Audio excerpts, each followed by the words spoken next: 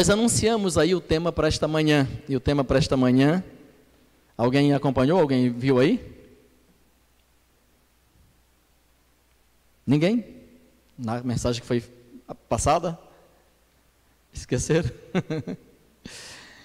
Quem está acompanhando pela, pela tela sabe, né? Porque tem que ver lá, está tudo lá.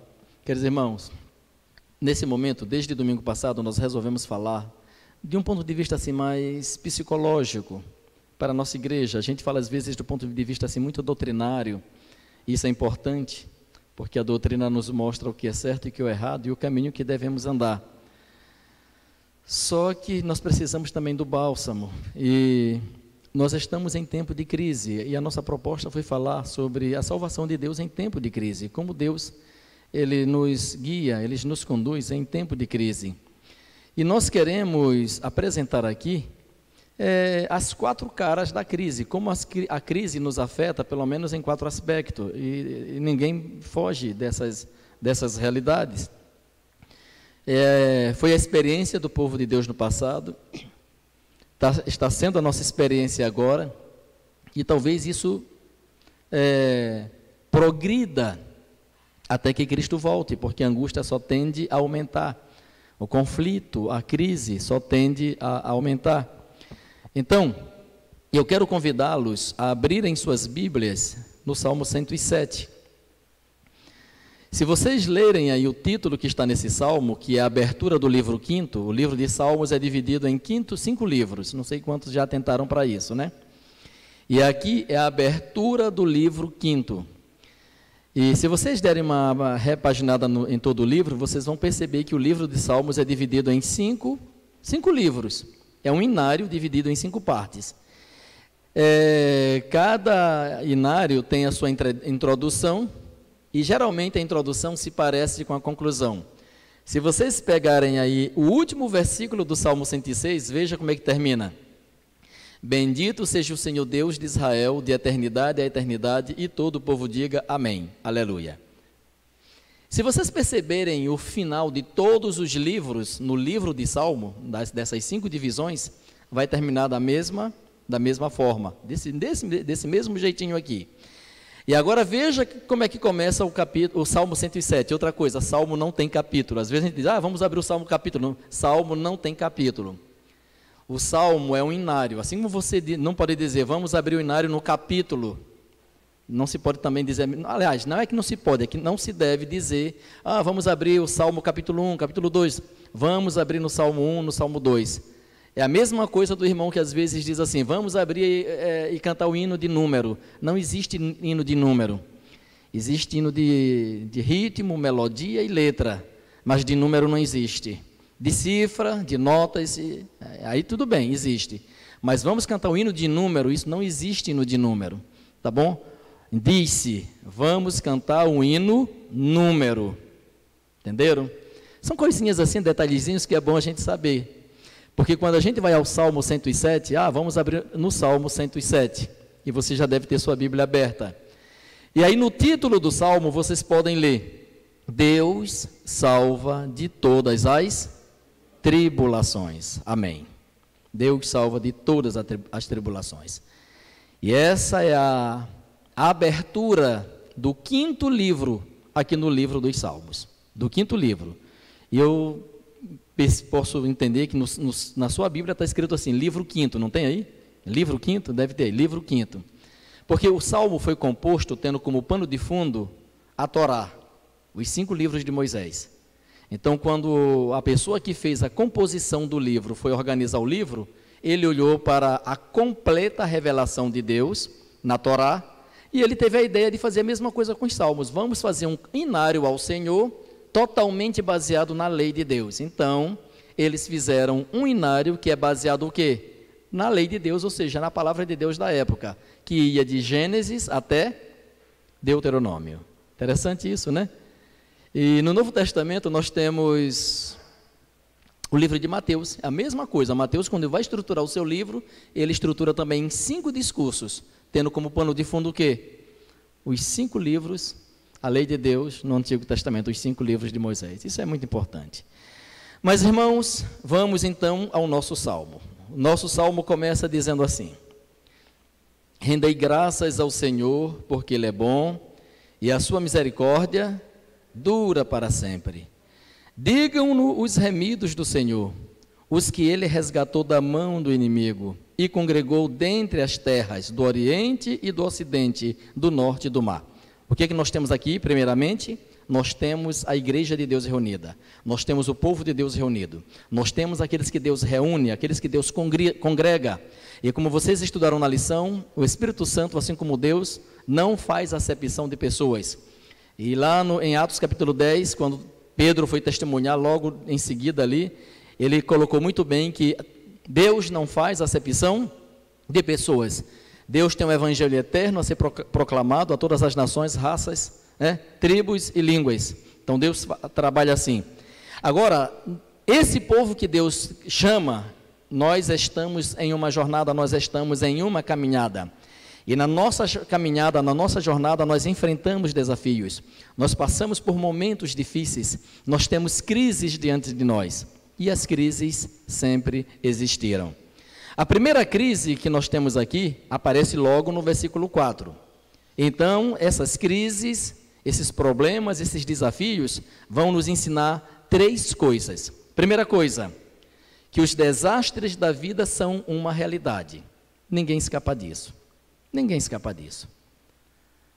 Quantas pessoas gostariam de estar livres de problemas, de crises, de enfermidades, de doenças e disso e daquilo, e, mas os desastres da vida são uma realidade. O salmo vai nos ensinar isso. Segunda coisa que nós vamos aprender neste salmo é que Deus é fiel apesar dos problemas da vida. Deus sempre vai continuar sendo fiel. Deus é fiel, tá certo? E a terceira coisa é que Deus salva. Esse Deus fiel é um Deus também salvador. E ele age em prol do seu povo. Então é isso que nós aprendemos aqui. Vocês vão perceber que este salmo ele é estruturado da mesma forma, só muda o problema. Então vamos ao primeiro problema, no versículo 4. Diz assim: Andaram errantes pelo deserto, por caminhos ermos ou ermos caminhos, sem achar cidade em que habitassem, famintos e sedentos, desfalecia neles a alma. Este é o problema, este é o primeiro problema. Aqui, nós, aqui o texto fala de fome. Aqui o texto fala de, de uma pessoa que está zigue-zagueando de um lado e para outro em busca de um teto, em busca de um lugar, em busca de água. Então, esse pro, primeiro problema aqui fala de, de uma situação física, de uma realidade física. E, queridos irmãos, essa pandemia tirou das pessoas emprego. Essa pandemia tirou das pessoas o salário, houve redução de salário. Essa pandemia, queridos irmãos, deixou muitas pessoas aí que estão dependendo de cestas básicas, que estão dependendo dos seus irmãos, das suas irmãs, dos seus amigos, da assistência social. Muitas pessoas, ao anoitecer, não sabem o que vão comer no outro dia, ao amanhecer, não sabem o que vão jantar. Então a Bíblia diz que diante dessas realidades, desfalecia neles a alma. Eu não sei quantos de vocês já passaram fome. Eu já passei fome. Já passei muita fome. Muita necessidade. E, queridos irmãos, é, a gente, bem criança, eu e meu irmão caçula, é, os que estávamos ali em casa, e no regaço de, da nossa mãe ali, mamãe, estou com fome, mamãe está com fome, e o pai sem saber o que fazer.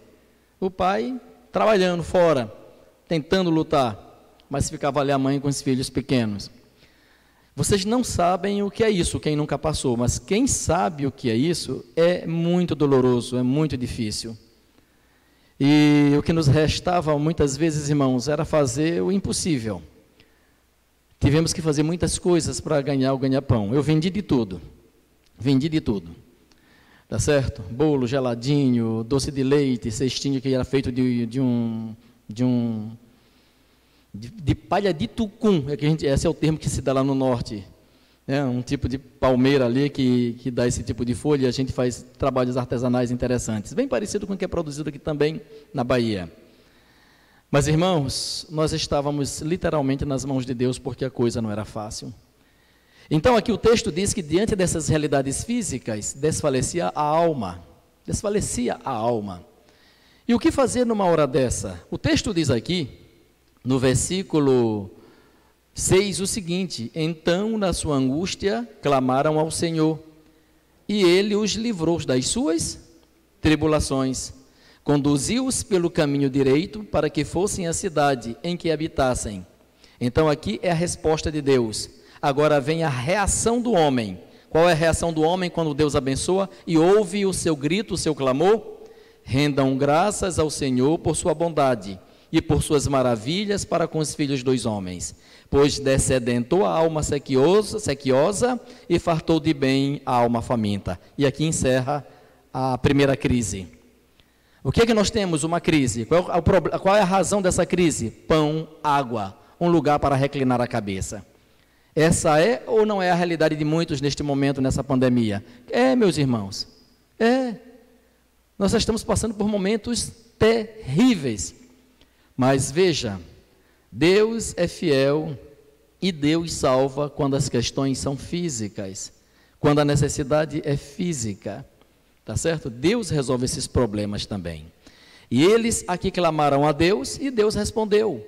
E a reação de quem é abençoado por Deus, no final, está no versículo está no versículo 9, é render graças ao Senhor por sua bondade e por suas maravilhas. Esse texto aqui vai sempre se repetir. Então, Deus resolve os problemas físicos. Estamos em uma crise marcada por tremendos problemas físicos que afeta pão, que afeta, afeta água, que afeta o reclinar da cabeça, que afeta o salário, que afeta a saúde física, situações físicas. O segundo problema, nós temos agora a partir do versículo 10, diz assim: Os que se assentaram nas trevas e nas sombras da morte, presos em aflição e em ferros, por se terem rebelado contra a palavra de Deus e haverem desprezado o conselho do Altíssimo, de modo que lhes abateu o coração com trabalhos, com trabalhos o coração, caíram e não houve quem os socorresse. Vejam, aqui nós temos o segundo problema. O segundo problema aqui, queridos irmãos, é o que a gente chama de problemas do sentimento, problema das emoções. Quando nós somos prisioneiros de nós mesmos, quando nós somos prisioneiros das nossas doenças psicológicas, de, uns, de sentimentos doentios, de emoções doentias. Aqui diz, queridos irmãos, que essas, essas pessoas estavam assentadas nas trevas, na sombra da morte, presos em aflição. Sabe, nós temos uma tendência de aumentar o problema. Nós temos a tendência de sofrer além do que deveríamos sofrer, por não sabermos trabalhar a nossa confiança em Deus, por não sabermos trabalhar nossas emoções, por não sabermos trabalhar os nossos sentimentos.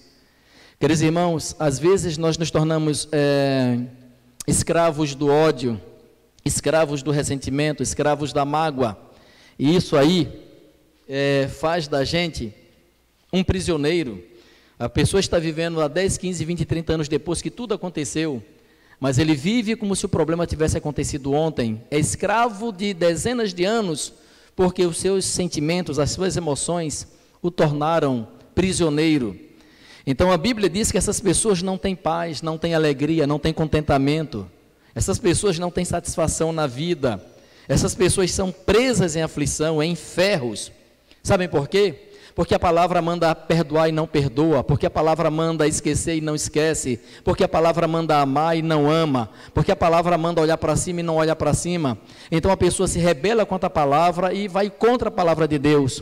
Consequentemente, o sofrimento vem.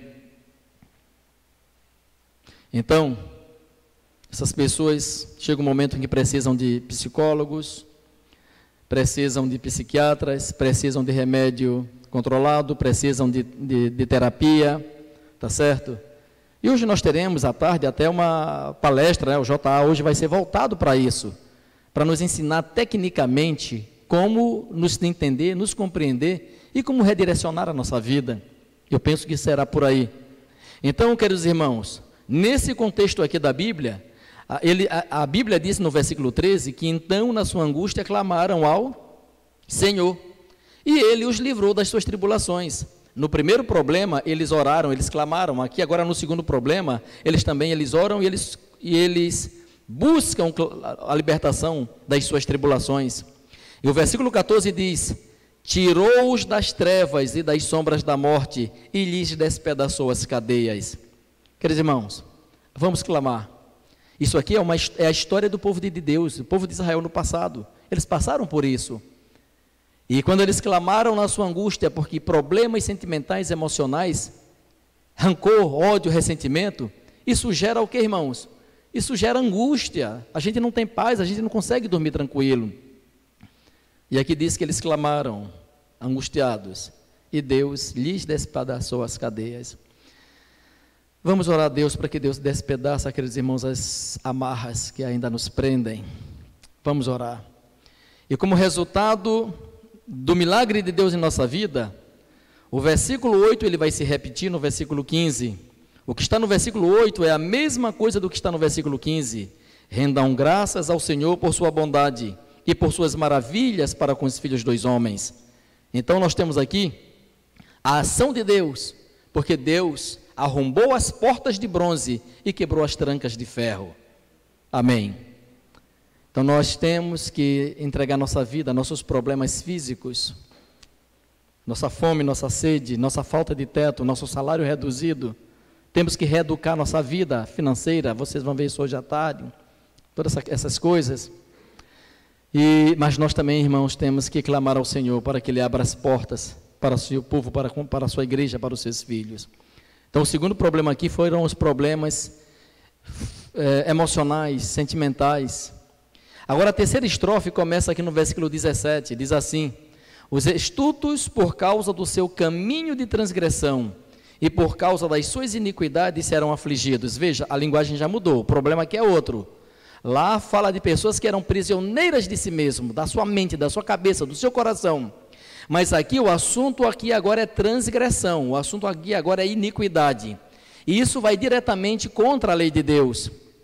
No primeiro caso, a palavra de Deus é citada porque a pessoa sabe o que deve fazer e não sabe, não, não, faz o que é, uma autora chama de inteligência espiritual. Inteligência espiritual. Deus manda orar, então ore. Deus manda ler a Bíblia, então leia. Deus manda perdoar, então perdoa. E nós temos, assim, irmãos, uma resistência por conta do nosso ódio, do nosso rancor, do nosso ressentimento. Aqui são iniquidades propriamente ditas. O problema nesse versículo 17 é, são os problemas espirituais. Problemas espirituais. E aqui diz o versículo 18: A sua alma aborreceu toda sorte de comida e chegaram às portas da morte. Problemas espirituais gera o que Ellen White chama de problemas psicossomáticos. É a mente afetando o corpo por causa da espiritualidade, por causa da desconexão com Deus. Quando nós estamos desconectados de Deus, irmãos, tanto a nossa mente quanto o nosso corpo é, padece.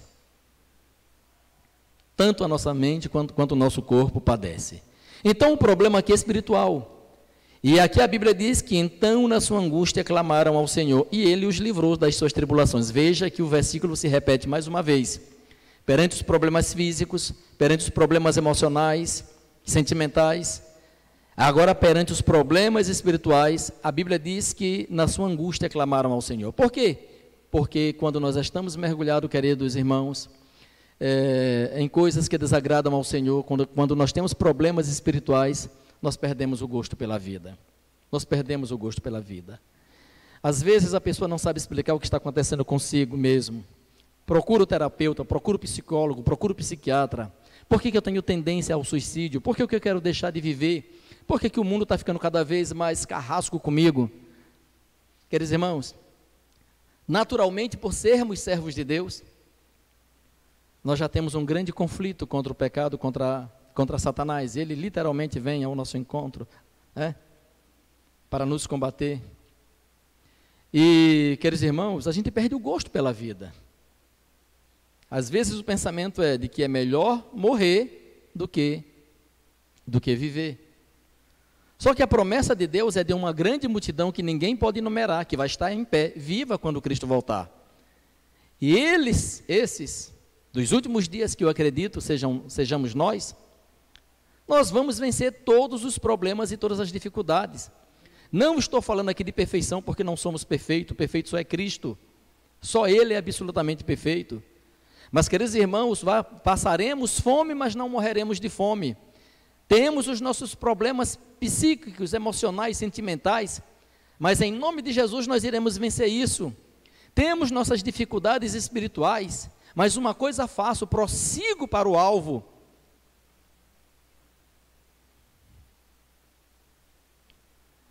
E aqui diz que a sua alma aborreceu comida e bebida e eles clamaram. Então o versículo 20 diz assim: Enviou-lhes a sua palavra e os sarou e os livrou do que era mortal.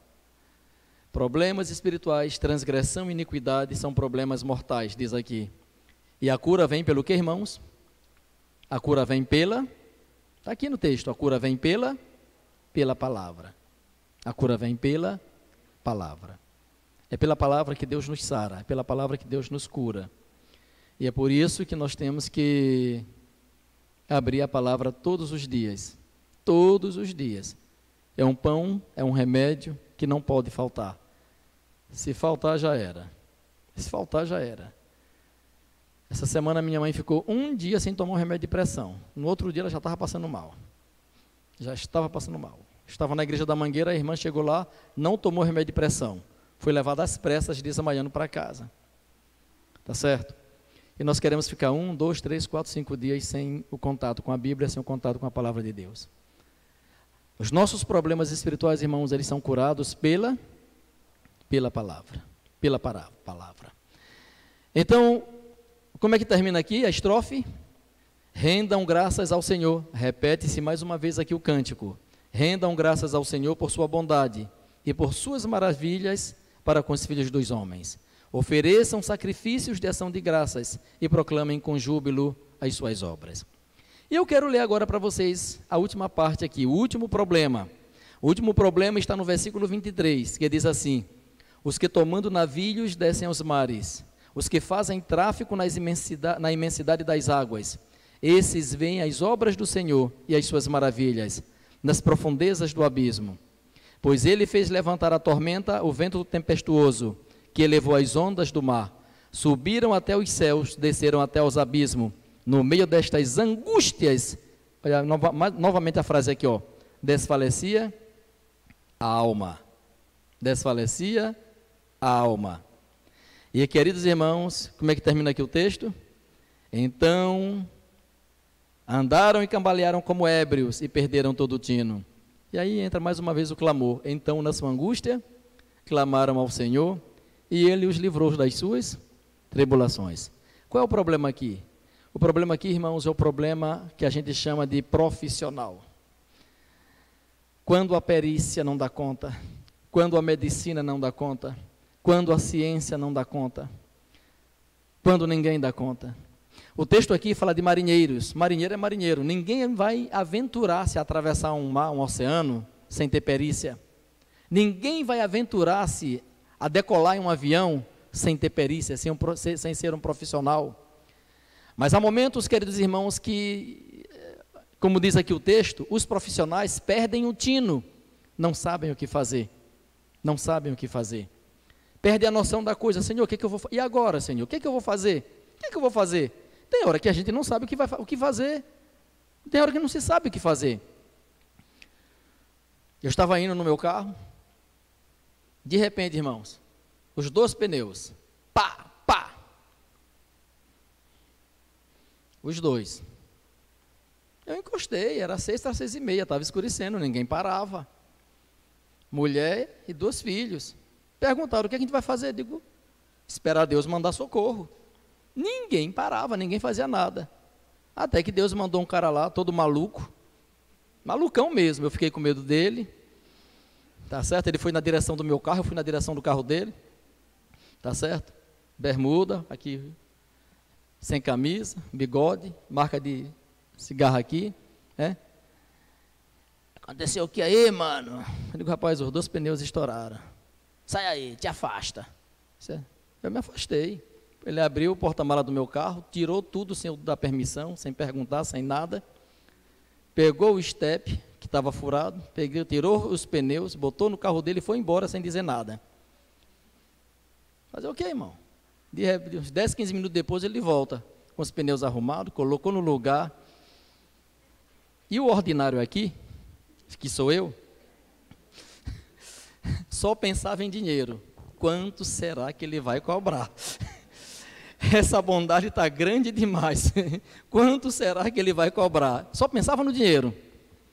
Digo, rapaz, ele vai meter a mão no meu. Eu, eu, ele vai acabar comigo. E digo, amigo, é, quando foi teu trabalho aí? Nada não, mano. Cristão é assim que faz. e foi sumiu. Foi. Outra coisa, ainda me deu toda a orientação para eu evitar a Belém Brasília toda esburacada. Me deu toda a orientação. Sumiu. Tu está indo para onde? Eu estou indo não sei para onde.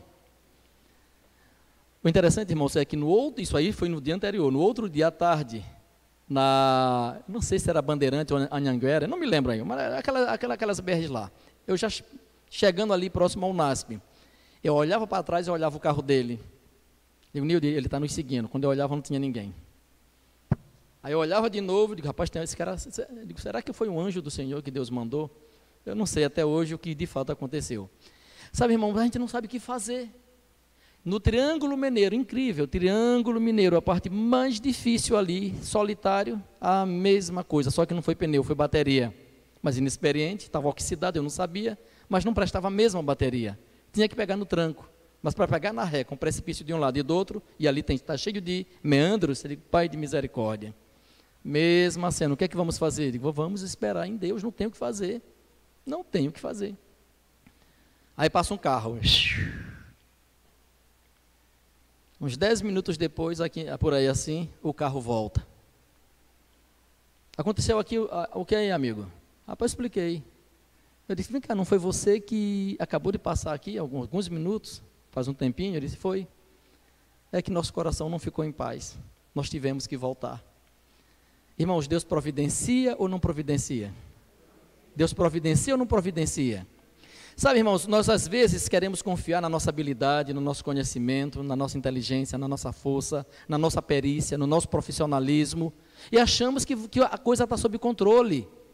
Só que há momentos que sai do nosso controle. Sai do nosso controle. O mesmo doutor Amirodô que você citou, que eu sou fã desse camarada, é, irmão Raimundinho Lobo, acho que também, que irmão Raimundo Lobo já está com três anos estudando essa meditação, toda vez eu vejo ele com essa meditação em mãos, eu, é, e a gente se apega a uma meditação, eu pelo menos tenho três, e ela é uma delas, que eu, que eu, que eu sou fã mesmo assim dessas meditações. Uma, é, aliás, de Ellen White eu sou fã de todas, mas a que eu estou lendo de Ellen White agora está é, tá louco, é um negócio de arrupiar os cabelos, olhando para o alto. Tem essa de Amin Rodô e tem uma de William Fraser, onde ele só fala do Espírito Santo. Todos os versos da Bíblia sobre o Espírito Santo nessa meditação. É um negócio espetacular. É? É... E queridos amigos, o, o doutor Amin Rodô, é, pegando pensamento aqui que eu estava comentando com vocês, é, eu perdi a linha do raciocínio quando eu fui falar de meditação. Minha última frase foi? Sim, mas antes.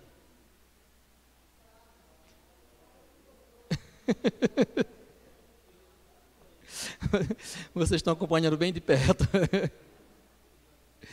Deus providencia. Eu estava falando isso aí. Deus providencia.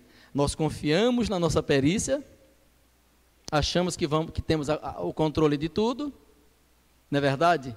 E Deus, Deus providencia. Deus providencia. E nessa bendita meditação, o doutor Merrodô ele coloca exatamente esse ponto, essa questão. Quando nós não sabemos o que fazer, quando nós estamos, sim, mas e agora? Sim, mas e agora? Irmãos, é, nós não devemos ter medo. Nós não devemos ter medo. Nós somos tentados a, a, a, agir exatamente dessa forma. Aqui o texto diz que eles perderam todo o tino. Poxa, poxa, o que, é que eu vou fazer agora? O que, é que eu vou fazer agora? Não se sabe. Não se sabe. Não se sabe o que fazer. Ah, é depender, é depender mesmo. É entregar mesmo, é confiar mesmo. Você não sabe o que fazer. Você não vai saber o que fazer. Então nós temos que aprender a confiar. Essa última estrofe ela fala de limitações. Nós temos nossas limitações. Por mais que se estude, por mais que se saiba, e agora veja, veja quanto tempo com todo o conhecimento científico, com todo o avanço na medicina, com tudo que se tem, O mundo está o quê? Como disse o pastor Elias Brasil, o mundo está de joelho perante um pequeno vírus, um vírus invisível. O mundo está demonstrando, confessando sua incapacidade, sua limitação, sua incompetência perante um pequeno vírus. Então, o povo de Deus tem que aprender o que, irmãos? A depender, a confiar. Agora, quando nós perdemos todo o tino e quando nós não sabemos o que fazer, Aqui o texto diz que na sua angústia eles clamaram, clamaram ao Senhor. Clamaram ao Senhor. Na sua angústia clamaram ao Senhor. E aqui o texto dizendo que, no versículo 29, fez cessar a tormenta e as ondas se acalmaram. Então se alegraram com a bonança, e assim os levou ao desejado porto. Ellen White usa esses dois versículos bem aí no livro Desejar Todas as Nações, quando ela conta a história lá no desejado do Jesus acalma a tempestade. Só que Jesus lá no relato estava no barco. Jesus estava no barco. É quando Deus está no barco que nós podemos ter certeza de que tudo vai terminar bem. Se Deus não estiver no barco, irmãos, pode ter certeza que Satanás vai fazer vir as, tor as tormentas, as ondas vão se elevar, o barco vai ficar a ponto de afundar, a ponto de capotar, como está aqui no texto. Mas se o grande capitão, se Jesus Cristo estiver no barco, o barco não vai, o barco não vai afundar. Eu tenho um livro lá em casa, Jornada Espiritual, o título desse livro, dessa grossura. Ele é católico. E o autor conta lá a história de uma irmã católica e vem alguém do mundo protestante criticá-la, dizendo assim: parece que o barco de Pedro está afundando. E a irmã católica simplesmente responda: não, Embora existem ondas batendo no barco ao ponto de afundar, mas o barco só está sendo sacudido, mas não afundará. Essa frase, de tudo nesse livro, eu só decorei essa frase, viu? O barco está, está sendo sacudido, jogando de um lado para outro, mas não afundará. E há momentos, irmãos, em que nós pensamos isso da nossa vida, é ou não é? Há momentos que nós estamos tão fragilizados emocionalmente, fisicamente, falta de tudo, é, é, espiritualmente, que a gente pensa que o barco vai afundar. Mas se Jesus estiver no barco, o barco não afundará. Quantas crises nós temos aqui? Quatro: problemas físicos, problemas mentais emocionais, problemas espirituais e problemas profissionais. Em todos eles clamaram ao Senhor, porque todos esses problemas causaram angústia e na sua angústia clamaram ao Senhor. E a Bíblia diz que Deus respondeu a todos esses problemas. Para quantos problemas Deus é a solução, queridos irmãos? Para quantos? Todos. Os nossos problemas aqui podem ser diferentes. Para uns físicos, para outros emocionais, para outros espirituais. Para uns dinheiro, para outros saúde. Para outros incapacidade, eu não sei. Para outros espiritualidade. Mas uma coisa eu digo com certeza aqui: começando por aquele que vos fala. Não existe ninguém aqui e nem fora daqui que não tenha os seus problemas. Mas vamos fazer como o povo de Deus fez no passado. Vamos clamar. E aquele que não falhou e atendeu a todas as crises, tornando o seu povo, seus filhos, vitoriosos em todas elas, que esse Deus também possa garantir a vitória para todos nós nesta manhã. Se você crê, diga amém. Se você crê aí na sua casa, diga amém também. E que você possa sair daqui fortalecido, dizendo que nem o apóstolo Paulo: Eu sei em quem eu tenho, eu tenho crido. E não há o que? O hino diz o quê? Não há o que? Não há o que temer. Que Deus te abençoe, que Deus te ajude, que Deus te fortaleça. Teremos mais um cântico agora e na sequência encerraremos com a oração final.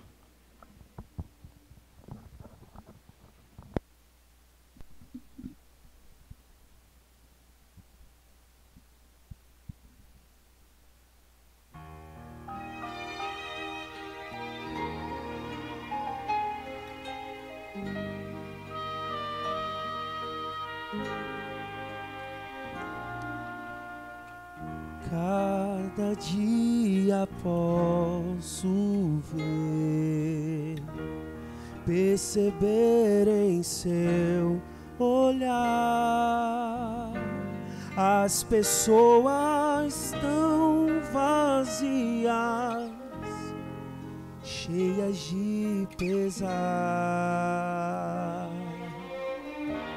vivem cada vez mais só, morrem sem amor. Sorriso esconde a dor, mas Jesus o vê. Busquem a Jesus, busquem a Jesus. Quando o sonho se desfaz, Ele traz a paz. Busquem a Jesus, busquem a Jesus.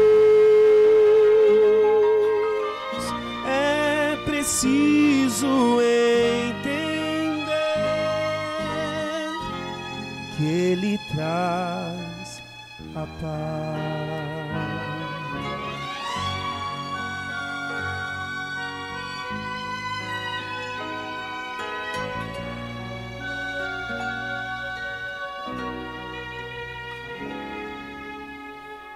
Sua luz, Jesus me dá.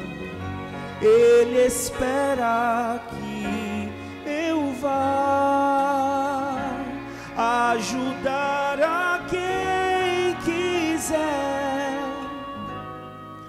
nova vida encontrar e a todo que vier sua paz buscar. Novo sol irá brilhar, trevas nunca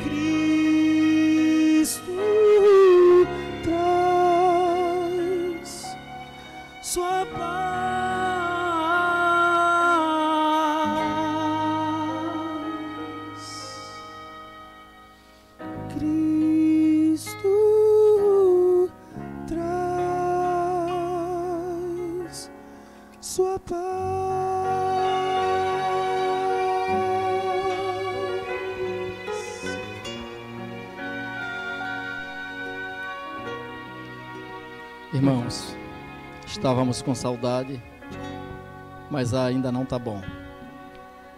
Porque nós queremos ver a casa cheia novamente. Queremos ver o povo de Deus de volta aqui. E que Deus possa nos dar coragem, força. E que Deus possa usar as pessoas certas para que essa pandemia possa ser vencida. Como não poderemos estar à porta para dar aquele abraço e dar aquele aperto, receba nosso abraço e nosso aperto antecipadamente, né? Pastor Manuel Chave fez o que nós estamos fazendo aí por onde a gente passa. Eu, por mim, eu abraçaria vocês. Eu tenho coragem. Não sei se vocês têm coragem de me abraçar, viu? Tá certo? Eu tenho coragem de ir abraçar vocês. De todas as formas, eu vou sair, vou estar ali à porta. Quem fizer parte dos 144 mil, vai lá e me abraça, né? E quem fizer parte da grande multidão, pode passar de longe. Eu estou com brincadeira, vocês sabem disso.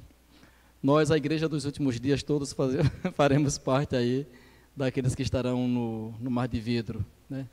E como disse o pastor Bulhão, é importante estar lá. Mas receba o nosso abraço, tá bom? Senhor Deus, muito obrigado por teu amor, por tuas bênçãos. Muito obrigado por teu cuidado paterno. Ó Deus Todo-Poderoso, ó Deus Todo-Poderoso, muito obrigado por tua palavra, que nos alimenta, que nos ensina, que nos ajuda a confiar em Ti, sabendo que o Senhor Deus é um Deus fiel, mesmo reconhecendo, Pai Santo, que os problemas estão aí, sejam eles físicos, psíquicos, psíquicos emocionais, sentimentais, ó Deus, espirituais, os profissionais, Ó oh Deus Todo-Poderoso, pessoas que não sabem o que fazer, que perderam todo o tino, que estão sem direção.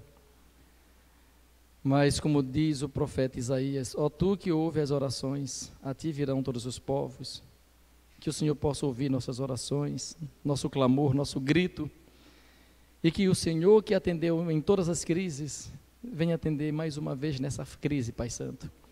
E se outras, e mais outras, e mais outras aparecerem, se a nossa angústia se tornar uma angústia da qual nunca houve desde que a nação sobre a terra, mas que nós possamos ser aqueles grandes vencedores que venceram por causa do sangue do Cordeiro. Que esse sangue venha nos lavar, que esse sangue venha nos purificar, que os teus anjos possam ser enviados para estar do nosso lado, para nos proteger e guardar, que o Senhor possa garantir a saúde dos seus filhos, dos seus servos. Precisamos testemunhar, precisamos pregar de todas as formas, inclusive a certeza de um Deus que cuida e como diz a tua serva, Ellen White, está chegando o momento em que a humanidade vai descobrir o quão, o quão importante é depender da segurança que somente Deus pode dar. E o teu povo, Senhor, vai passar por todas as crises e se tornará mais que vencedores em tudo, porque nós sabemos em quem nós temos crido. Ajuda-nos a confiar. Se, aqueles que estão sofrendo suas perdas, aqueles que estão nas suas lutas, aqueles que estão com suas enfermidades, aqueles que estão com seu salário reduzido, aqueles que estão, Pai Santo, sofrendo por causa da dor física, quem sabe espiritual ou psicológica, aqueles que perderam seus empregos, aqueles que estão passando pelos mais difíceis, as mais difíceis situações em casa, problemas relacionais. Oh Deus, que nós como teu povo possamos agora olhar para os céus e clamar, porque esse meu povo que se chama pelo meu nome, se humilhar e orar. Ó oh Deus, Deus ensina-nos a nos humilharmos perante Ti e buscar Tua face, porque nós sabemos que Deus nos ouvirá, sabemos que o Senhor nos socorrerá. Assim abençoe Tua igreja, Teu povo agora. Ao sairmos, leva-nos em paz e abençoe também, Senhor, aqueles que estão em casa, que fizeram da sua casa a sua igreja, que agora eles possam também estar sendo abençoados pelo Senhor. E todos quantos ainda ouvirão esta mensagem e a lição que foi estudada hoje recapitulada, que sirva de pão e de bálsamo para todos os corações. Nos perdoe onde erramos e nos dê novidade de vida. Te agradecemos tudo em nome de Jesus. Amém.